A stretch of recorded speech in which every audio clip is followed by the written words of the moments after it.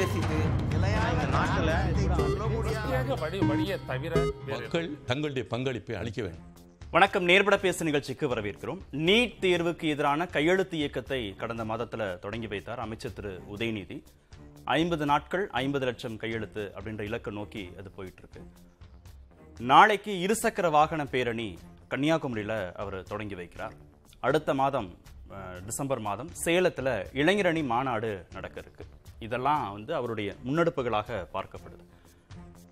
அது வந்து அரசியலாக அதை பார்க்கணுமா? இல்லை ஒரு அக்கறையான நிகழ்வாக பார்க்கணுமா? அப்படிங்கறதா இன்றைய நேர்பட பேசுவின் பேசு பொருள் நீட் தீர்வுக்கு எதிராக கையெழுத்து இயக்கம் உதயநிதியின் முன்னெடுப்பு அக்கறையா அரசியலா அப்படிங்கிற தலைப்புல பேசியிருக்கிறோம். திமுகவிலிருந்து பேராசிரியர் கான்ஸ்டன்டன் ரவீந்திரன் இணைந்திருக்கிறார். பாஜகவிலிருந்து திருமிகு முனைவர் மோகன பிரியா இணைஞ்சிருக்கிறாங்க. வலதுசாரி கருத்தாளர் திரு ராமசாமி மையப்பன் இணைந்திருக்கிறார். மூத்த பத்திரிகையாளர் திரு பிரியன் பங்கேற்றிருக்கிறார். வணக்கம் விருந்தினர்கள் அனைவருக்கும்.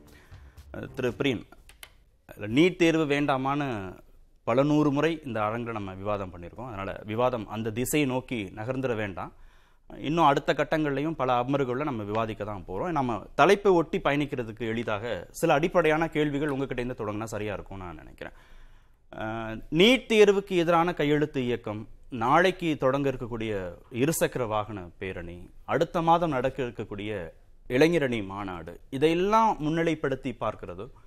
ஒரு திமுகவுடைய முதன்மை முகமாக திரு உதயநிதி ஸ்டாலினை முன்னிலைப்படுத்துவதற்கான நகர்வுகள் அப்படின்னு புரிஞ்சுக்கலாமா?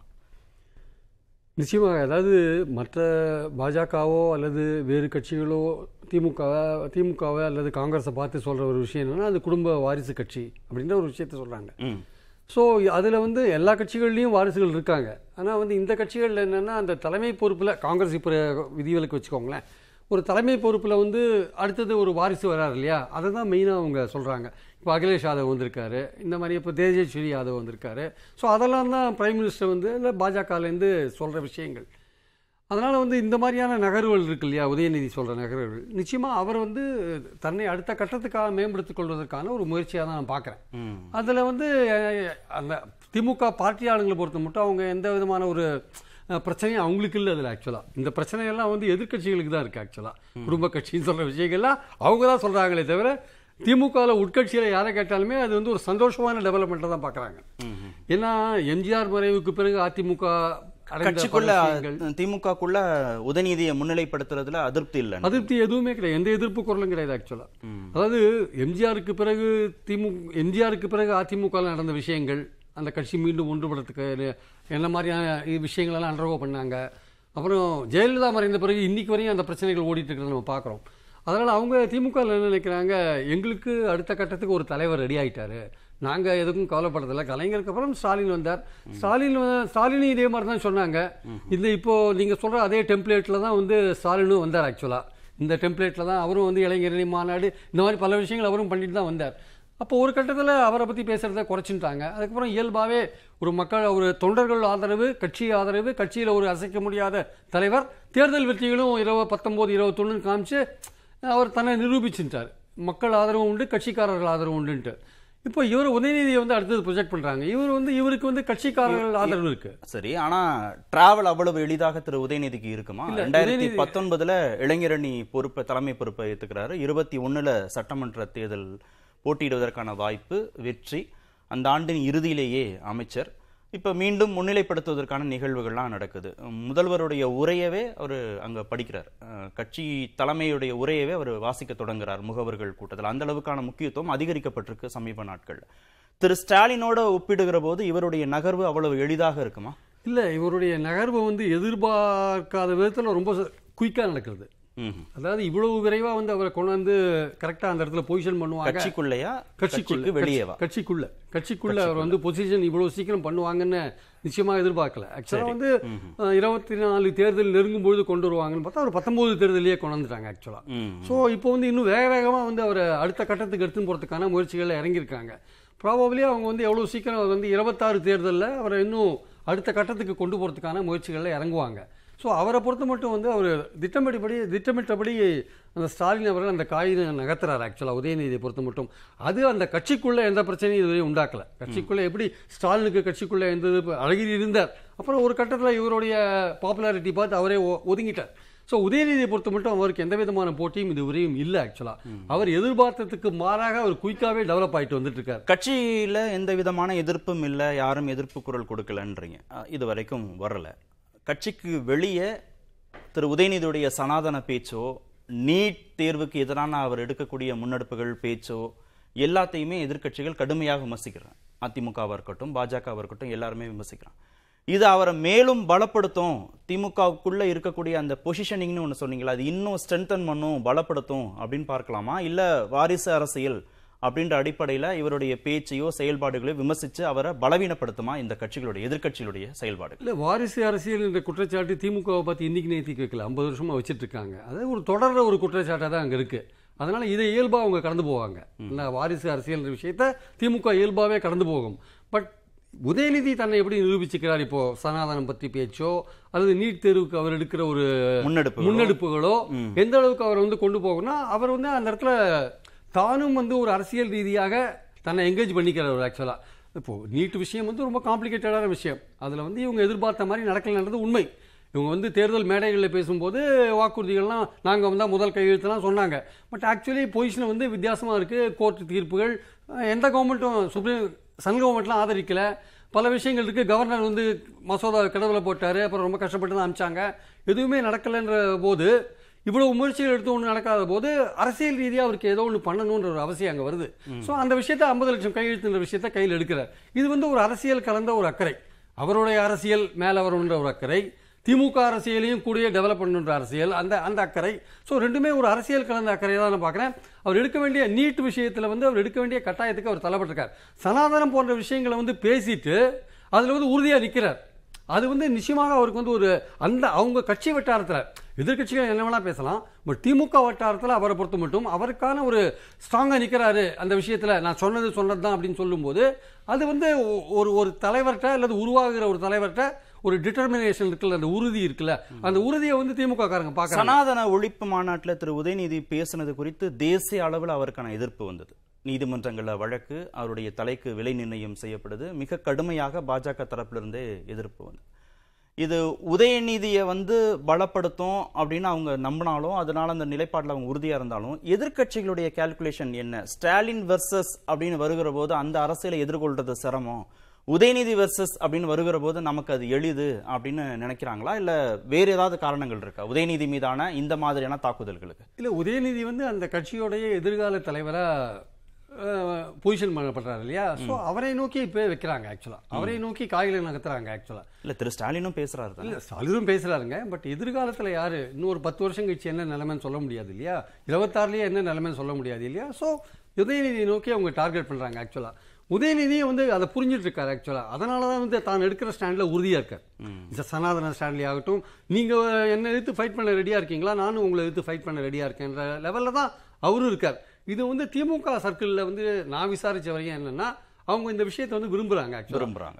விரும்புறாங்க. இதுவரை ஒரு ஸ்ட்ராங்கான ஒரு ஆள் வந்து தேவை வேலை leader நினைக்கிறாங்க. வேலை சுலபம்னு நினைக்கிறாங்க. ஆமா. அவங்களுக்கு அவங்களுக்கு அடுத்த தலைவர் ரெடி ஆயிட்டாருன்னு மட்டும் இல்ல.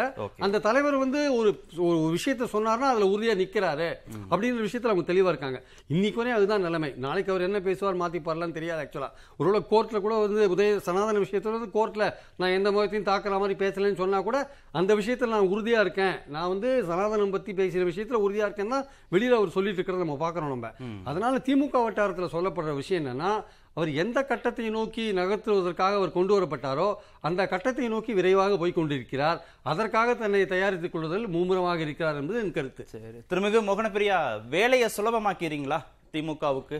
அடுத்த தலைமையை உறுதிப்படுத்துவதற்கான அந்த பொசிஷனை வந்து ஸ்ட்ரென்தன் பண்ணுவதற்கான வேலையை பாஜக உள்ளிட்ட எதிர்க்கட்சிகள் ரொம்ப எளிமைப்படுத்தி கொடுக்குறீங்களா? திமுகவுக்கும் திரு உதயநிதிக்கும்.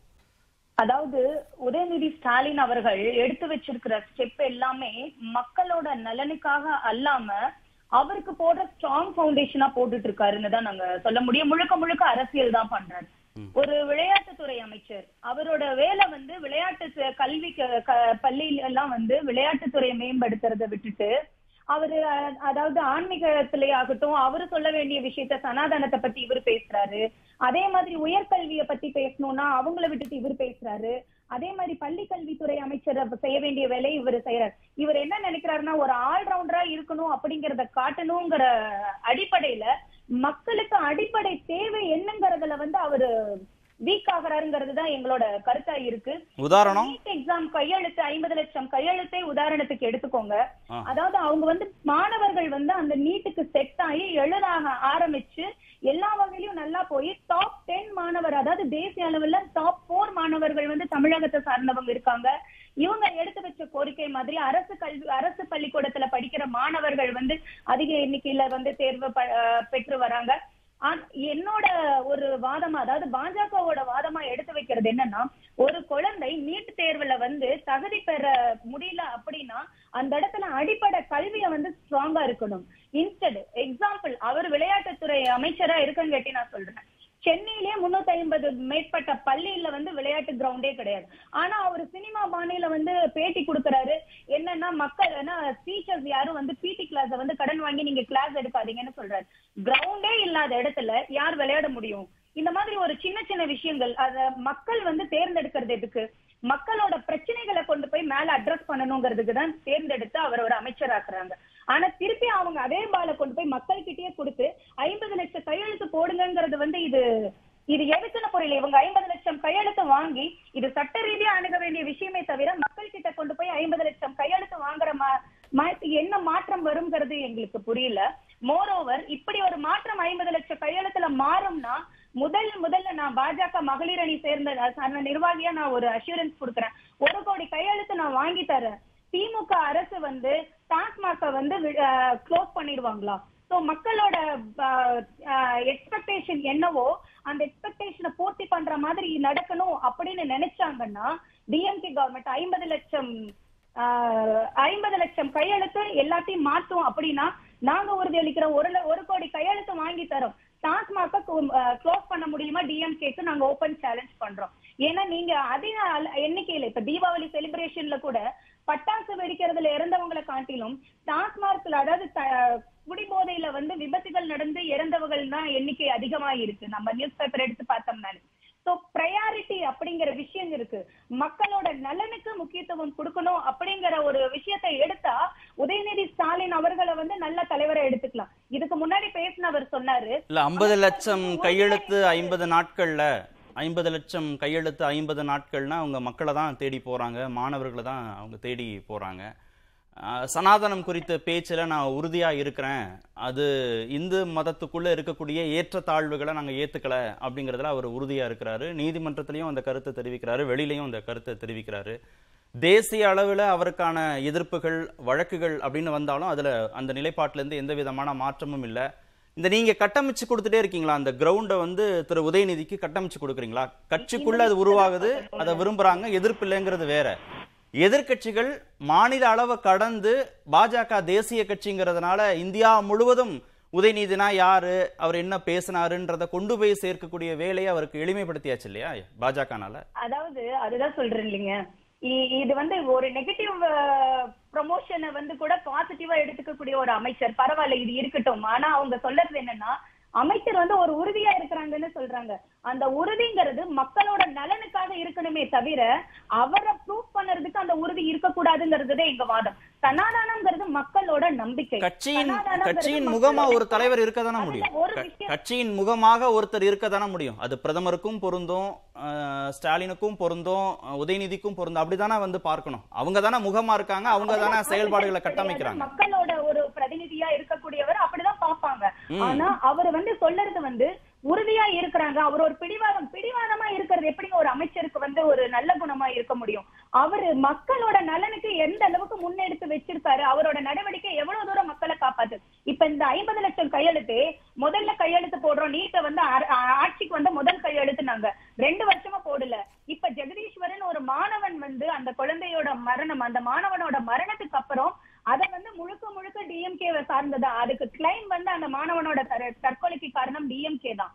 அந்த கிளைம மறைச்சு அத வந்து திரிக்கணும் நிறைய விஷயங்களை மாற்று பாதையில திருப்பணும் அப்படிங்கிறதுக்காக கையில எடுக்கிற ஒரு விஷயம் தான் நீட் மாறாக நிறைய மக்கள் அவர் ஒரு நல்ல தலைவரா வரணும். கண்டிப்பா அதுல மாற்று கருத்து கிடையாது. இல்ல இந்த விமர்சனங்களால அவருக்கு தானே அவருக்கு தானே விளம்பரம் கிடைக்குது. அவருக்கு தானே பயன் கிடைக்க போகுது அரசியல் ரீதியாக. அவர் குறித்த பேச்சை எதிர்க்கட்சிகள் பேசுறாங்க விமர்சிக்கிறாங்க. அவர் அவருடைய பெயரை தொடர்ந்து எதிர்க்கட்சிகள் பேசுறாங்கன்னா அவங்க அவருக்கு தானே பொலிட்டிக்கல் கெயின் டிஎம்கேக்கு தானே பொலிட்டிக்கல் கெயின் இதுல கிடைக்க போகுது இதுல. வைக்க விமர்சனம் வைக்கக்கூடிய பாஜகவுக்கோ எதிர்க்கட்சிகளுக்கோ இதுல என்ன கிடைக்க போகுது அவரு கண்ணை மூடிட்டு உலகமே இருட்டுன்னு நினைக்கிறாரு. உலகம் முழுக்க இல்ல.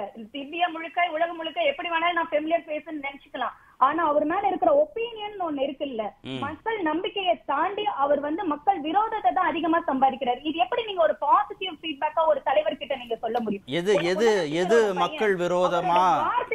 எது மக்கள் விரோத ஒப்பீனியனை கிரியேட் பண்ணுதுன்றீங்க? எந்த விஷயம்? உதயநிதி கையில் எடுத்த எந்த விஷயம் மக்கள் விரோத ஒப்பீனியனை கிரியேட் பண்ணுது? சனாதனத்தை பத்தி பேசுறதா இருக்கட்டும். இப்ப ஐம்பது லட்சம் கையெழுத்து வாங்குறதா இருக்கட்டும். திருப்பி அவரை நம்பி போடுறாங்க. நீங்க தானே கொண்டு போய் அவங்க வந்து அந்த விஷயத்துக்கு தீர்ப்பு கொடுக்கணும். ஆனா திருப்பி மக்கள் கிட்டயே வராங்க. அதே மாதிரி ஒரு ஆறாயிரம் ரூபாய் அவர் அவர் பேசினதுதான் ஸ்ட்ரீட் ஸ்ட்ரீட்டா ரெண்டாயிரத்தி பத்தொன்பதுலயும் வாக்குறுதி அதை தான் கொடுக்குறாரு. ரெண்டாயிரத்தி இருபத்தி ஒண்ணுலயும் வாக்குறுதி அதை தான் கொடுக்குறாரு. எத்தனை வருஷம் ஆச்சு இப்ப? இவங்க ஆட்சிக்கு வந்து ரெண்டரை வருஷம் ஆச்சு. அது மக்களுக்கு வந்து அவர் மேல இருக்கிற நம்பகத்தன்மை குறையுது. நீங்க என்ன வேணாலும் நினைச்சுக்கோங்க. அவங்க அவங்க அவங்க அவங்களுக்குன்னு ஒரு நம்பிக்கை இருக்கும். it may be. அவங்களோட கலாச்சாரத்து மேலயும் அவங்க வழிபடுற கடவுள் மேலயும் ஒரு ஒரு நம்பிக்கை இருக்கும். அந்த நம்பிக்கையில விளையாடுற ஒரு அமைச்சர் எப்படி மக்கள் ஏத்துக்குவாங்கன்னு நீங்க நினைக்கிறீங்க? இது வரலும் சொல்ற ஸ்டேட்மெண்ட் வேற. சனாதானத்தையும் அழிப்புங்கிறது அது எப்படி எடுத்துக்கலாம்? அதே மாதிரி ஒரு அமைச்சர் பேசுற வார்த்தைகளா இருக்கட்டும் அவர் வந்து ஒரு முன்னாடியே முன்னோடியா இருக்கணும். ஆளுநரை பத்தி அவர் கேலி பண்ற வார்த்தைகள்ல அவர் சித்தரிக்கிற விதம் இது எல்லாமே வந்து அவர் நெகட்டிவிட்டி தான் சம்பாதிக்கிறதே தவிர அவர் எப்படி உயர்றாருங்கிறத எடுத்துக்கிறாங்கன்னு தெரியல. ஒரு விஷயத்தை மாத்திக்கிற ஒரு பாசிட்டிவ் ஆட்டிடியூட் அவங்களுக்கு இருக்குதுங்கிறத பார்த்து நாங்க சந்தோஷப்படலாமே தவிர ஆனா மக்கள் மத்தியில இது கண்டிப்பா ஒரு நெகட்டிவ் இம்பாக்ட் தான் கொடுக்குங்கிறது எந்த மாற்று கருத்தும் கிடையாது. ரவீந்திரன் புரிஞ்சுதா? பாஜக தரப்புல பேசின செய்தி தொடர்பாளருடைய அப்சர்வேஷன் நெகட்டிவிட்டியை நிறைய சம்பாதிக்கிறார் மக்கள்கிட்ட இருந்து திரு உதயநிதி அப்படின்னு சொல்றது குறித்து? புரியுது. ஆனா தலைப்பு வந்து நீட் தேர்வுக்கு எதிராக கையெழுத்து இயக்கம் உதயநிதியின் முன்னெடுப்பா முன்னெடுப்பு அக்கறையா அரசியலா? அதானே? ஆமா ஆமா தலைப்பு அதானே? ஆமா அதுக்கப்புறம் நான் நிறைய நிறைய இன்ட்ரோல. என்னன்னு? இல்ல இல்ல கார்த்திகேயன் இது வரைக்கும் போனதை பார்த்தா. அடுத்த தலைவர் வந்து உதயநிதி தான். அது சரிதானா? அப்படின்னு விவாதிக்கிற மாதிரி இருக்கு. ஒண்ணும் தப்பு இல்ல. நானும் அதுல கலந்துக்கிறதுல சந்தோஷப்படுறேன். பட் தலைப்பை நம்ம நேரடியா அப்படியே வச்சிருக்கலாமே இப்படி வச்சிருக்கோமேங்கிறதா வேற இல்ல பேசுவோம். இல்ல அதுல உங்களுக்கு எதுவும் சங்கடம் விருப்பம்லாம் ஒண்ணும் கிடையாது. ரொம்ப மகிழ்ச்சிங்கிறேன். அதாவது ஒரு ஒரு எதிர்கால தலைவரை பற்றிய எதிர்க்கட்சியை சார்ந்தவர்கள் பத்திரிகையாளர்கள் இவர்களுடைய கருத்துக்களை கேட்டுக்கொள்வது என்பது மிக தேவையான ஒன்று. அதுவும் மக்கள் மன்றத்தில் பேசப்படுகிற போது என்னை பொறுத்த வரைக்கும் இது இந்த தலைப்பு தான் என்று தெரிந்திருந்தால் நான் மாண்புமிகு அமைச்சரிடமே சொல்லியிருப்பேன். கொஞ்சம் கவனித்து பாருங்கள் இன்றைக்கு தலைப்பு இப்படி இருக்கிறது. உங்களுக்கு அதில் சில ஆலோசனைகள் கிடைக்கலாம் என்று கூட நான் சொல்லி இருப்பேன் அதற்கு கூட வாய்ப்பு உண்டு. பரவாயில்லை ஒருவேளை கவனிக்கலாம் அவர். நல்லதுதான். ஆனால் சகோதரி பேசும்போது சொன்னாங்க நாங்க ஒரு ஒரு கோடி இல்ல கையெழுத்து எங்களை ஏதோ ரொம்ப பயமுறுத்தி அழைச்சிட்டு போற மாதிரி தெரியுது டிபேட்டுக்கு அப்படிலாம் ஒண்ணும் இல்ல அதெல்லாம் ஒண்ணுமே கிடையாது. ஒண்ணுமே கிடையாது. எதுக்கு பயப்படணும். அவரு இப்ப சகோதரி சொன்னாங்க அவர் விளையாட்டுத்துறை அமைச்சர் தானே. அவர் விளையாட்டுத்துறை அமைச்சர் மட்டும் இல்ல இளைஞர் நலன் அவர் கையில தான் இருக்கு. சிறப்பு திட்ட செயலாக்கம் அவர் கையில தான் இருக்கு. எல்லா துறைகள்லையும் புதுசா திட்டங்கள் வந்தா அவர் தான் அதை நடைமுறைப்படுத்தணும். இத்தனை அமைச்சர். அப்ப அவர் எல்லா துறையிலையும் அவர் கேட்கத்தான் செய்வாரு பேசத்தான் செய்வாரு. அதுல என்ன குற்றம் இருக்கு? ஒண்ணும் கிடையாது. இன்னும் யதார்த்தமா அவர் சொல்றாரு உடற்பயிற்சி வகுப்புகளை கடன் வாங்காதீங்கப்பா. எனக்கே அந்த வருத்தம் உண்டு. நான் படிக்கிற காலங்கள்ல மேத்ஸ் வாத்தியார் இல்லைன்னா பிசிக்ஸ் வாத்தியார் இல்லைன்னா கெமிஸ்ட்ரி மேடம் என்ன பண்ணிடுவாங்க? பிசிக்ஸ் பீரியட் இந்த பிடி பீரியடை கட் பண்ணிடுவாங்க. எங்களுக்கு பிடி பீரியடை கட் பண்ணா இவங்க எடுக்கிற பாடத்தை நாங்க கவனிக்க மாட்டோம். எங்களுக்கு பிடி பீரியட் போயிருச்சேங்கிறதுல தான் உட்கார்ந்துருப்போம்.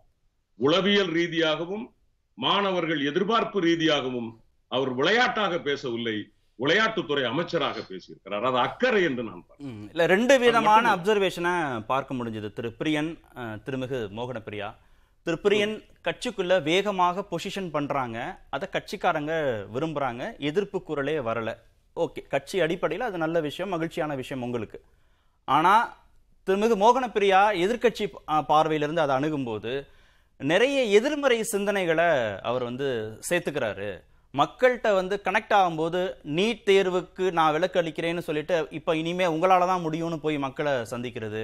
மக்களுடைய நம்பிக்கைகளாக இருக்கக்கூடிய சனாதனம் குறித்து அதை ஒழிக்கிறோம் அப்படின்னு பேசுறது அவருக்கு தான் அது பாதிப்பை உண்டு பண்ணும் அப்படின்றாங்கல்ல? அதுல என்ன உங்களுடைய புரிதல்? எனக்கு வந்து இந்த சனாதனம்னா என்னது? அது அதுதான பிரச்சனை. சனாதனம்ங்கிறது எங்களை பொறுத்த வரைக்கும் எங்களுக்கு சொல்லித்தரப்பட்டிருப்பது சனாதனத்தை பத்திய ஒரு டெபனிஷன் அப்படிங்கிறது இந்து பனாரஸ் யூனிவர்சிட்டி கொடுத்த புத்தகத்துல என்ன இருக்குங்கிற வரைக்கும் நாங்க நீதிமன்றத்துல சொல்லிட்டோம். என்ன சொல்லுது? பிறப்பால் உயர்வு தாழ்வு உண்டுன்னு சொல்லுது. இந்த கொள்கையை நான் ஒழிக்கணும்னு நினைக்கிறேன். இதுல என்ன தப்பு? இது அவர் மறுக்கவே இல்லையா. ஆனா பிரியன் அண்ணன் கூட பேசும்போது ஏதோ நீதிமன்றத்தில் அவர் வந்து மாறி பேசின மாதிரி சொன்னாரு. மாறவே இல்லைங்க. நான் பேசியது பேசியது தான் நான் எந்த மதத்தையும் குறித்து நான் பேசவில்லை. சனாதனம் கோட்பாடு அந்த கோட்பாடு சனாதனம் என்பது இந்து மதமா? நான் கேக்குறேன். அப்ப ராமலிங்கர் சொன்னாரே சன்மார்க்கம் அது இந்து மதம் இல்லையா? சைவ சித்தாந்தம் இந்து மதம் இல்லையா? புத்த மதம் இந்து மதம் இல்லையா? மகாவீரர் போதித்த மதம் இந்து மதம் இல்லையா?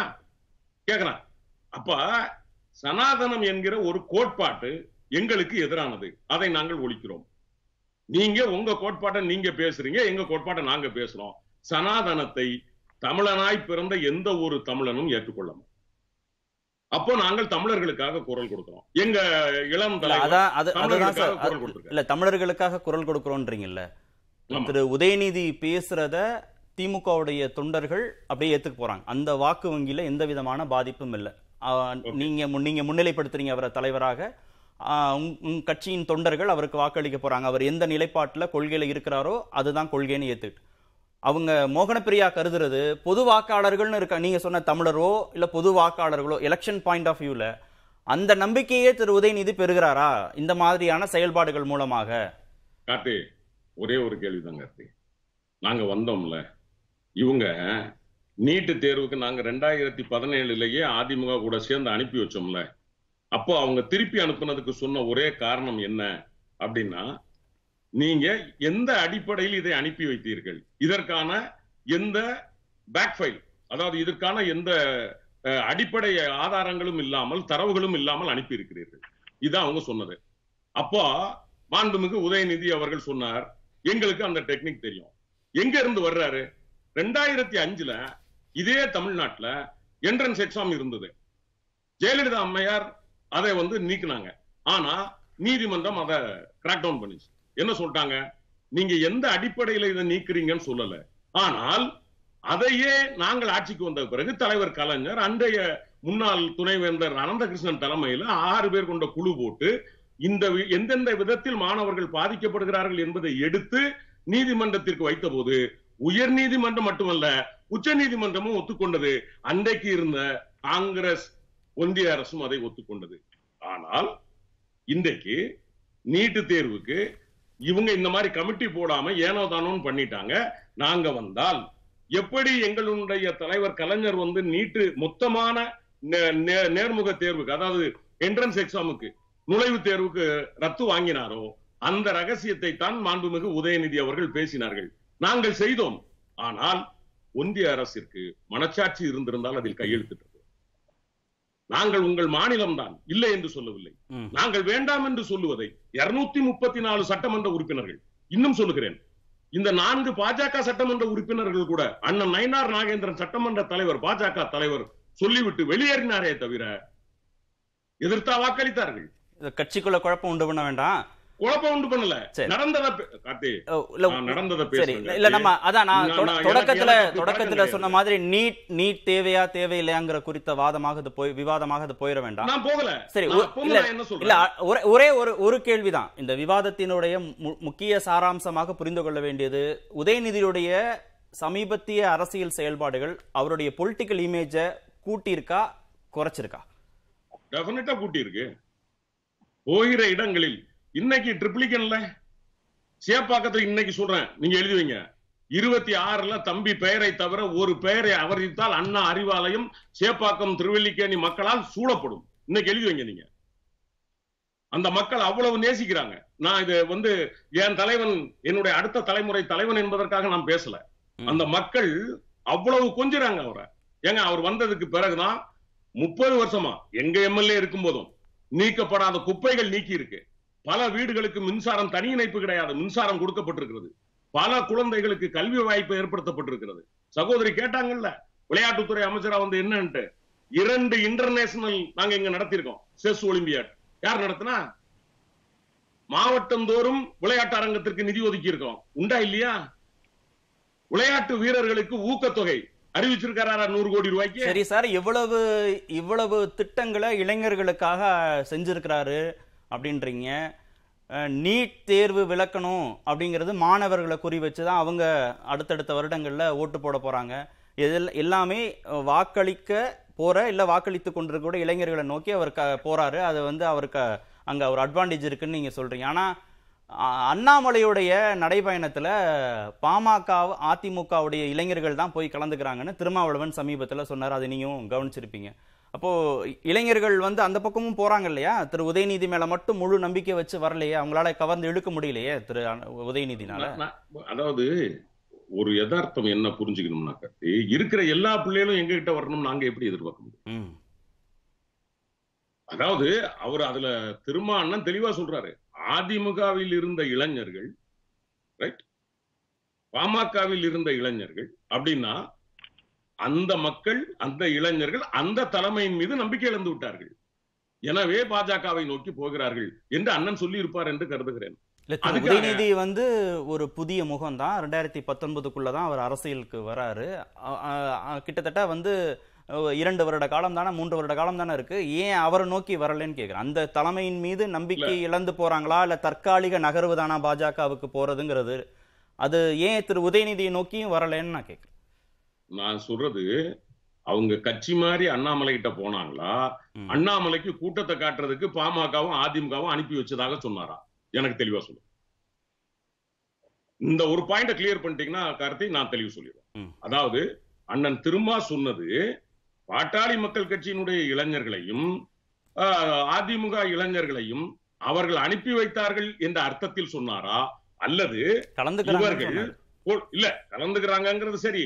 அதுல எங்களுக்கு தெரியும்ல. அண்ணன் திருமாண்ணன் கூட நாங்க நிறைய பயணிச்சிருக்கிறோம்ல. அவர் பேசும்போது இந்த இடத்துல எதை புரிய நீங்க. புரிஞ்சுக்கிட்டீங்கன்னா நிர்வாகம் அதுக்கு பொறுப்பு இல்ல. அதைத்தான் நான் சொல்றேன். நீங்க நான் பேசுற கருத்துக்கு கார்த்தி நான் இன்னைக்கும் சொல்லுகிறேன்.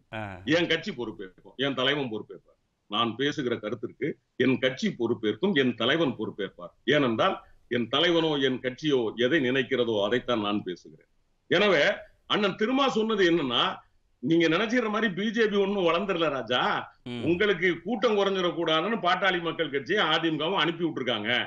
அதை பாத்துக்கங்கன்னு சொல்லி இருக்கிறார் என்று தான் நான் கருதுகிறேனே தவிர அது நிகர நிரந்தர நகர்வா தற்காலிக நகர்வாங்கிறதுல ஒரு புரிதல் வேணும். அது என்னன்னு போக போக தான் பார்க்க முடியும். இது- நகர்வல்ல. ஒரு ஒரு ஒரு விசிட்டிங் அவ்வளவுதான். சரி ஓகே திரு ராமசாமி மைப்பன். பொலிட்டிக்கல் இமேஜ் திரு உதயநிதிக்கு கூடி இருக்கு அப்படின்னா அதுக்கு திமுக காரணமா எதிர்க்கட்சிகள் காரணமா இல்ல ரெண்டு பேரும் தானே காரணம்? என்னன்னா திரும்பி வந்து இது இந்த உதயநிதி அவர்களோட அந்த முட்டா கதைக்கு போன மாதிரி ஆயிடும். நான் அதற்கு முன்னாடி வந்து ஒரு விஷயத்த வந்து தெளிவுபடுத்த விரும்புகிறேன் என்னன்னா நம்ம வந்து எப்போவுமே வந்து திமுக எடுத்த உடனே நம்ம வந்து ஒரு குடும்பத்துல இருந்து மட்டும் வந்துட்டு இருக்காங்க அப்படின்ற பேச்சு வருது அப்படின்றத பார்க்கும்போது ஸ்டாலின் அவர்களுக்கும் உதயநிதி அவர்களுக்கும் ஒரு பெரிய வித்தியாசத்தை பார்க்க வேண்டிய ஒரு நிதர்சனமான பொசிஷனுக்கு நம்ம இருக்கோம். அவர் எண்பத்தொம்போதில் வந்தார். அதற்கப்புறம் தொண்ணூத்தாறில் மேயர் ஆகுறாங்க. அதற்கப்புறம் தான் மந்திரி ஆகுறாங்க அப்புறம் தான் வராங்க. அந்த வளர்ச்சி பயணம் அப்படின்றது வேறையாக இருக்குது உதயநிதி அவர்களுக்கு அப்படி கிடையாது. ரெண்டாயிரத்தி பத்தொம்போதில் தேர்தல் பரப்புரைக்கு வராங்க. இருபத்தி ஒன்று இருபத்தி ரெண்டுலேயே மந்திரி ஆயிடுறாங்க. அதற்கப்புறம் பொறுப்புகள் கொடுக்கப்படுகிறது. பலர் வந்து அடுத்த தலைவராகவே அவரை தான் பார்க்குறாங்க அப்படின்ற அந்த நிலைமை வந்துடுது ஸ்டாலின் அவர்களுக்கு அதே நிலைமை கிடையாது. ஸ்டாலின் அரசியலுக்குள்ள வரும்போது திரு கருணாநிதிக்கும் திரு ஸ்டாலினுக்கும் இதே மாதிரியான ஒப்பீடுகள்லாம் சொல்லப்படும் ஒப்பீடுகள் இருந்தது. அன்னைக்கு வந்து அண்ணன் வைகோ அவர்கள் வந்து பெரிதும் போற்றப்பட்ட இளைஞரணி தலைவராக இருந்திருக்கிறார். அதற்கப்புறம் அவர் வெளியில வராரு அப்படின்றதெல்லாம் பார்க்குறோம் இன்னைக்கு வந்து அந்த எதிர்காட்ட பா பார்த்தோம் அப்படின்னா அதனால தான் இன்னைக்கு உதயநிதி அவர்களுக்கு ஒரு எதிர்ப்பு இல்லையோ?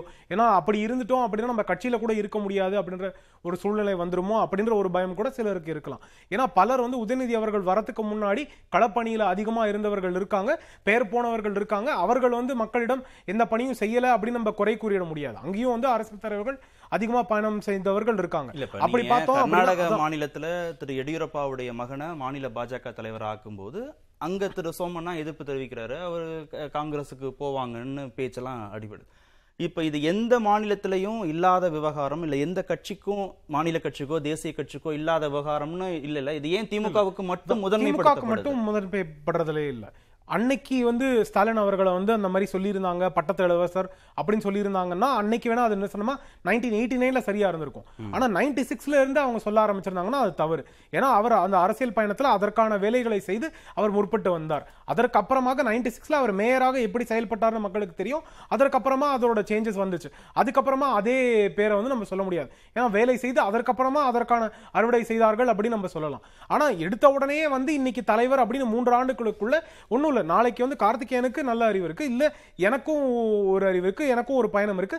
நம்மளை தாண்டி திமுகல பயணம் செய்த பல பேர் இருக்காங்க.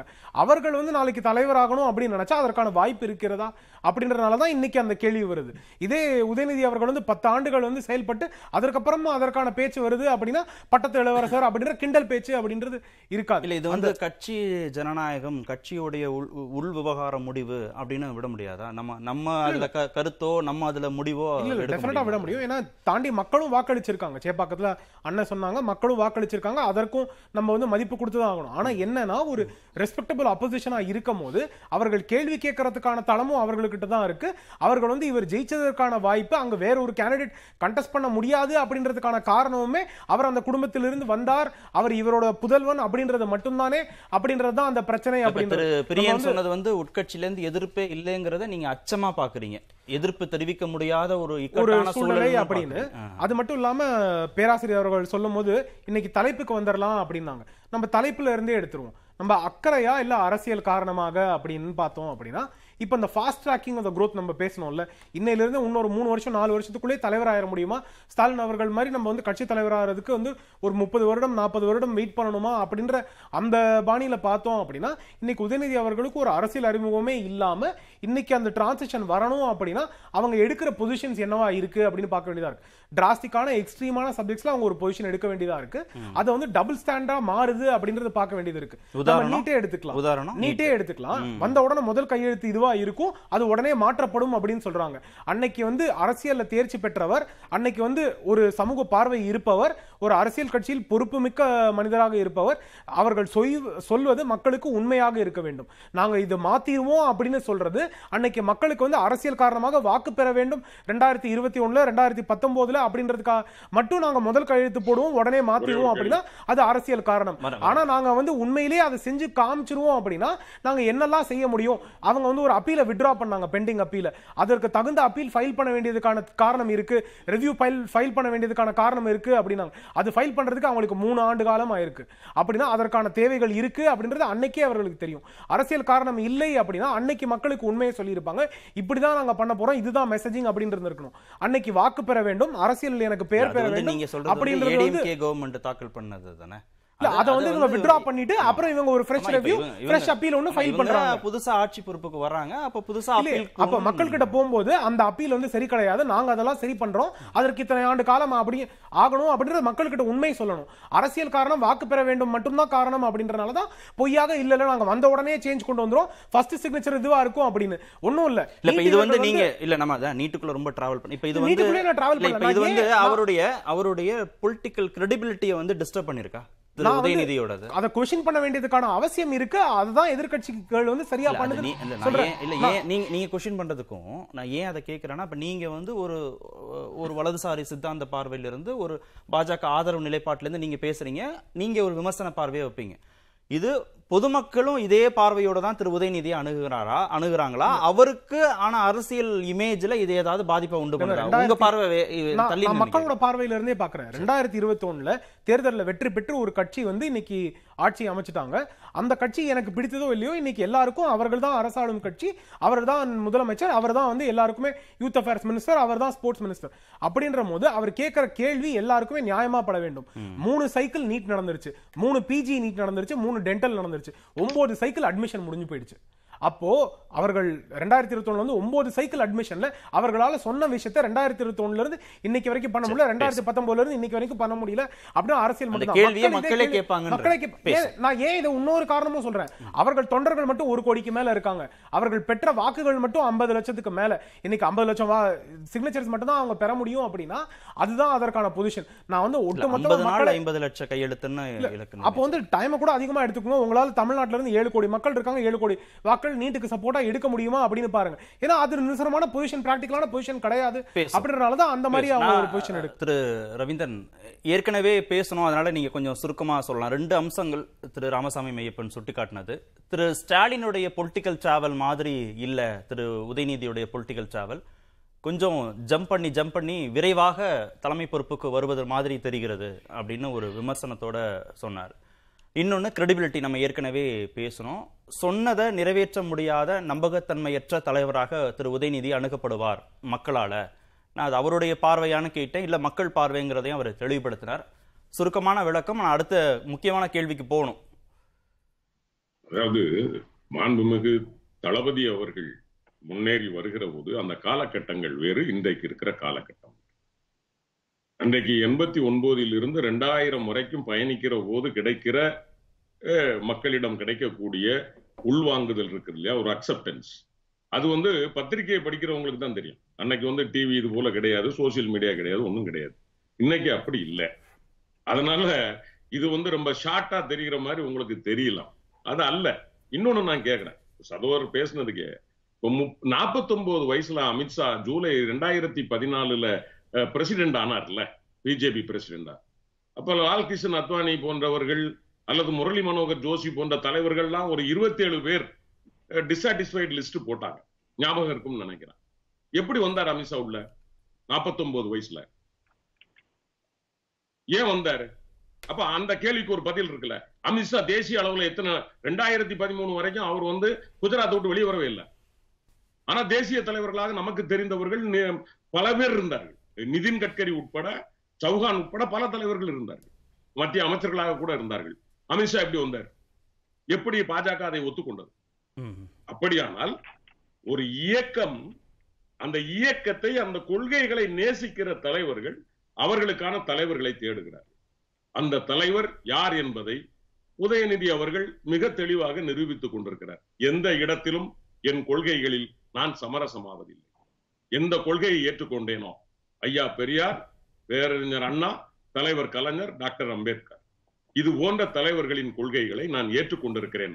அதில் நான் பேசியதில் இருந்து நான் மாறுபட மாட்டேன் என்கிற ஒற்றை உறுதி அவரை அடுத்த தலைவனாக அடையாளப்படுத்தி இருக்கிறது அதுல இருந்து நான் திரு. பிரியன்ட்ட பிரியன்ட்ட ஒரு இன்டர்பிரிட்டேஷன் வாங்கிட்டு நான் திரும்ப நான் உங்ககிட்ட வரேன். அவர் அடுத்த தலைவராக திரு உதயநிதிய காலம் முன்னிலைப்படுத்தி இருக்குன்னு திரு ரவீந்திரன் சொன்னார் இல்லையா?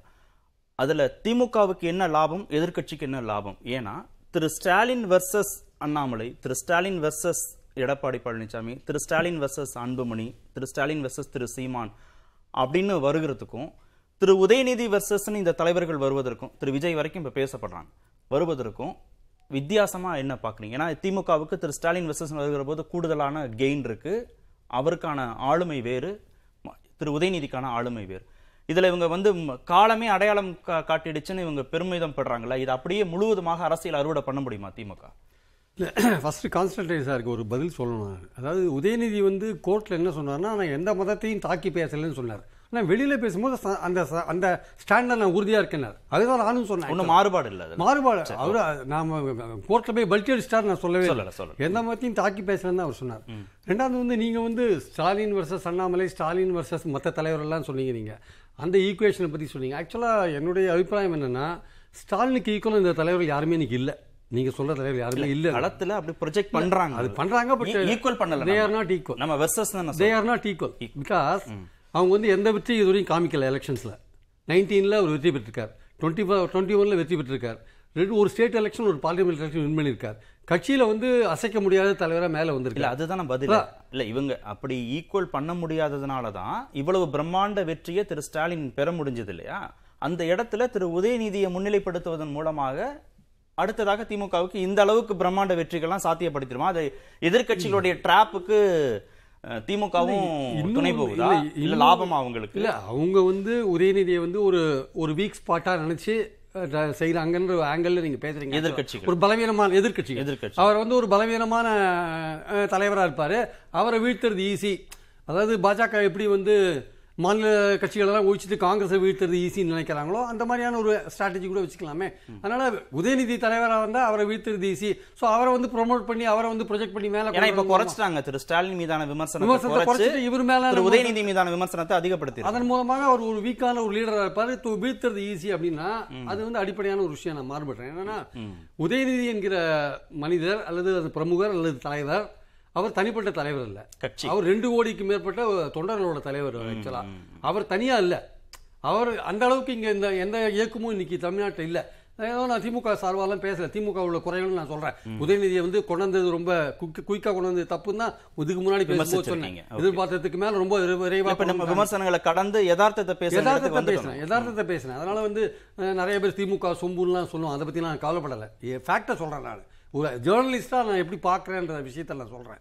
ஸோ அந்த அவர் வந்து தனிப்பட்ட மனிதர் கிடையாது. இன்னைக்கு அதிமுகலையும் அந்த அளவுக்கு தொண்டர்கள் கிடையாது. திமுகவில் இருக்கிற அளவுக்கு அதிமுக பிளவுபட்டு கிடக்கிற அதிமுகவா இருக்கு. அதில் பாஜகவும் அந்த அளவுக்கு இன்னும் வளரல. சீமான் வளர்ந்துட்டு இருக்காரு இன்னும் அந்த அளவுக்கு வளரல.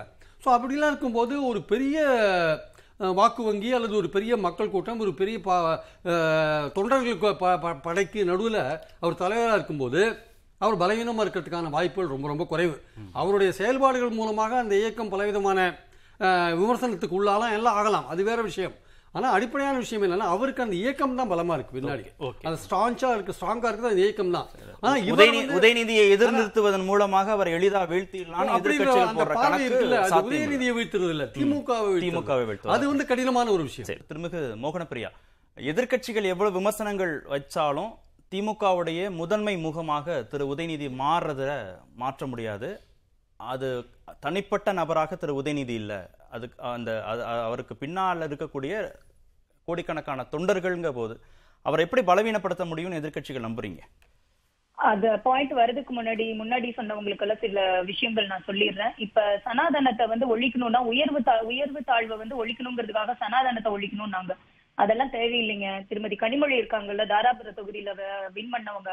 அவங்கள ஏதாவது முக்கியமான பொறுப்புல கொடுத்து பொது செயலாளராக்கி அவங்க கண்ட்ரோல்ல கட்சியை கொடுங்க. அது ஒரு விஷயம் பண்ணீங்கனாலே மிகப்பெரிய ஒரு மாற்றத்தை உருவாக்கும் கட்சியில. அது மட்டும் இல்லாம அடுத்தது வந்து விளையாட்டுத்துறை அமைச்சர் வந்து ஒலிம்பியாடுல வந்து நடத்துனாங்கன்னா அது சென்ட்ரல் கவர்மெண்ட் நடத்துறது. இங்க ஒரு பிளேஸ்ல நடத்துனாங்க சென்னை. அது ஒரு விஷயம். அடுத்தது வந்து பாத்தீங்கன்னா அவர் நிறைய விஷயங்கள் பண்ணதா இந்த நிகழ்ச்சி நடத்தினதை சொன்னாரு. ஆனா முக்கியமான ஒரு விஷயம் தவற விட்டுட்டாங்க. அத மே பதினொன்னாம் தேதி நம்ம சென்ட்ரல் கவர்மெண்ட் வந்து விளையாட்டுல வந்து தகுதி பெற்ற மாணவர்கள் ஐநூறு மாணவர்களுக்கு மேற்படிப்புக்கு வந்து வாய்ப்பளித்ததை வந்து இவங்களோட கேர்லெஸ்னஸ்னால ஏன்னா இவங்க நீட்டுன்னு கையெழுத்து வாங்க போயிடுறதும் நீட்ட பின்னாடி போகவும் அவங்களோட கேர்லெஸ்னஸ்னால ஐநூறு மாணவர்களுக்கு கிடைக்க வேண்டிய ஒரு மேற்ப இது படிப்புக்கான விஷயங்கள் வந்து மறுக்கப்பட்டது. அந்த அவங்களோட இருந்ததுனால இது நடந்தது. அடுத்த விஷயம் பாத்தீங்கன்னா அவங்க கட்சி முழு ஒத்துழைப்பு இருக்குதுன்னு சொன்னாரு அவரு. அதுக்கு வந்து டிஆர் பாலு அவர் லாஸ்ட் மந்தே ஒரு ஸ்டேஜ்ல சொன்னாரு. தனிப்பட்ட ரீதியில ஒரு ஸ்டேஜ்ல சொன்னாரு. பேசுறதுல வந்து கொஞ்சம் கவனம் தேவை உதயநிதி ஸ்டாலின் அவர்களுக்கு அப்படிங்கிற விஷயத்த டிஆர் பாலு அவர்கள் வந்து ஒரு ஸ்டேஜ்ல சொல்லியிருக்காரு. அது மட்டும் இல்லாம இந்த நீட்டு கையெழுத்துன்னு சொன்னாங்க. அவங்க அமைச்சர் ஆர் ராசாவே இரண்டு வருடங்களுக்கு முன்பு அவர் பயங்கரமா சுத்தி ஆராய்ச்சி பண்ணிட்டாரா? ரெண்டு வருஷமா ஆராய்ச்சி பண்ணாராமா?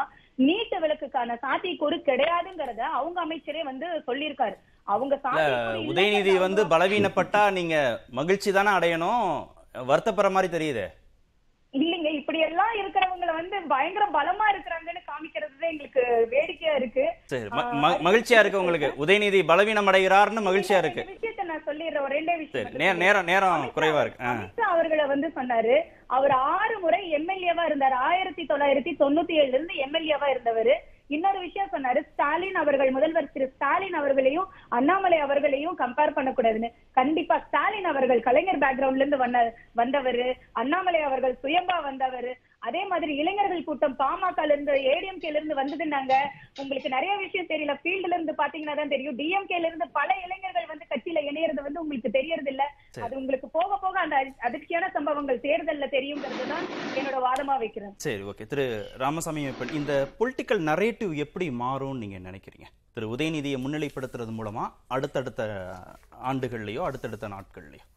திமுக பொறுத்த வரைக்கும் அவர் பட்டத்து இளவரசர் தான். அதனால அவரை முன்னிலைப்படுத்தி தான் அவர்கள் கொண்டு போக போறாங்க அப்படின்றத தான் நம்ம பார்த்துட்டு வரோம். அதுல மாற்றம் கிடையாது. ஆனா அதை வந்து மக்கள் வந்து திமுகக்கு இன்னைக்கு இருக்க மதிப்பு குறையறதுக்கு காரணம் அப்படின்றது திமுகவே உணராம இருக்கிறது தான் ஒன்றும் இல்லை. எலெக்ஷன் கமிஷன் வந்து ரெண்டாயிரத்தி இருபத்தொன்னுல ஒரு நோட்டீஸ் அமைச்சாங்க. அவர் வந்து தேர்தல் பரப்புரையில சுஷ்மா ஸ்வராஜ் அவர்கள் இறப்பையும் ஜேட்லி அவர்களோட இறப்பையும் தவறா பேசினார்.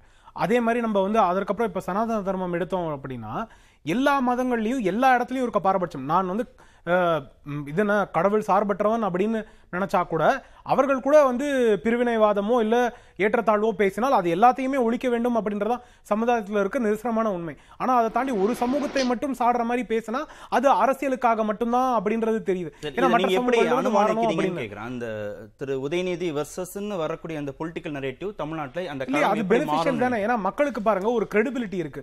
ஒருத்தர் ஐபிஎஸ் ஆஃபீஸரா என்ன கிரெடிட் வாங்கியிருக்காரு அவர் எப்படி மக்கள் கிட்ட இருந்து ஏற்கனவே ஒரு ரெக்கக்னிஷன் பெற்றிருக்காரு சிங்கம்ன்ற பட்ட பேர் அவர் கொடுத்துக்கிட்டது கிடையாது. அவருக்கு கொடுக்கப்பட்டது. அதற்கப்புறம் இன்னைக்கு மக்கள் வந்து எண் எண்மண் எண் மக்கள் யாத்திரையை பார்த்தீங்கன்னா எவ்வளவு மக்கள் வந்து சேர்றாங்க அவர்கள் வந்து எந்த கட்சியை சார்ந்தவர்கள் எந்த மதத்தை சார்ந்தவர்கள் எந்த அஹ், நம்பிக்கையை சார்ந்தவர்களா வேணா இருக்கலாம். அங்க வந்து அவர் என்ன பேசுறாரு எதற்காக பேசுறாரு எந்த நம்பிக்கை சார்ந்து பேசுறாரு என்ன மக்களோட பாலிசிஸ பேசுறாரு மீதான கிரெடிபிலிட்டி கூடி இருக்குன்றீங்க கூடி இருக்கு. அப்படின்றது தான் இன்னைக்கு திரு மாற்றம். ரவீந்திரன் சுருக்கமா திரு அண்ணாமலை கிரெடிபிலிட்டியை கூட்டியிருக்காரு மக்கள்கிட்ட பாத யாத்திரை போய். அவரு சிங்கம்னு யார் கூப்பிட்டா? கர்நாடகால மக்கள் கூட்டம். அப்படியா? சரி சரி. நான் இதுவரைக்கும் சகோதரர் ராமசாமி அவர்களை இல்ல ரெண்டாயிரத்தி பதினெட்டு ரெண்டாயிரத்தி பத்தொன்பதுல பிரஸ் ரிலீஸா. நம்ம பாத்துடலாம் நான் தனியா சொன்னா எடுத்து கூட இல்லை. வேண்டாம். ரைட்டுங்க. நான் ஒத்துக்கிறேங்க. கர்நாடகாவுல சிங்கம் அவரு. இருக்கலாம். அந்த போலீஸ் ட்ரெஸ் எல்லாம் போட்டுட்டு அப்படியே துப்பாக்கி துப்பாக்கி வச்சுட்டு நிக்கும் போது சிங்கம் சொல்லியிருக்கலாம். நான் மறுக்கல. தமிழ்நாட்டுல என்னங்கிறதான கேள்வி. அவருக்கு நீ அங்க சிங்கம்ங்கிறீங்க. இங்க வேற ஒரு பேர் ரெண்டு இடத்துல சொல்றாங்க. நான் அதை சொல்ல விரும்பல. பேசல நாகரிகமா போவோமே அப்படின்னு.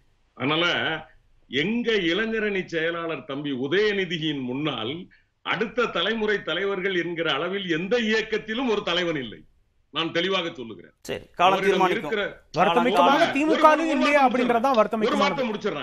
அவரோட நான் பழகிய வரைக்கும்.